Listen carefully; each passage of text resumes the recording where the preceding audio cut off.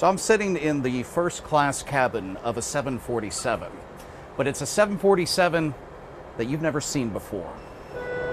This isn't your typical jumbo jet. Buckle up. This is the Global Super Tanker. We're taking this airplane and doing all the things that Boeing never designed it to do. We're, Call it the next gen firefighter. we're flying it 200 feet over the trees. Uh, we're dropping 175,000 pounds of retardant out of the back of the aircraft in about eight seconds. It's like the super soaker that you would play with at a pool. It's a really giant super soaker water gun. It fought blazes in Israel and most recently in Chile.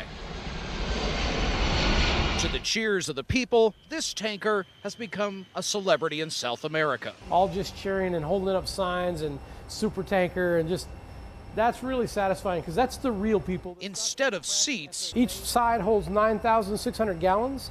Together, that's 19,200 gallons. they roll in, and with the push of a button, the show begins.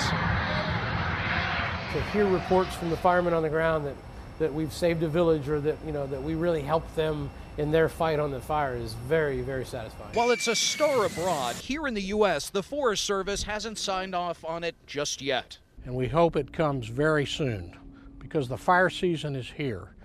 We've seen it recently here in Arizona on the sawmill fire. Some say it's too big to fly out of some airports, but here in Arizona, it's certified to fly out of at least six. You might see this bad boy over the skies in the U.S. as early as July.